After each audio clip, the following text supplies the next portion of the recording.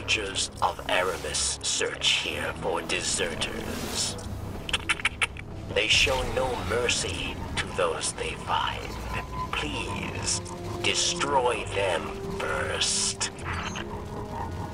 Last time we saw the Exo Stranger, she wanted us to fight the darkness.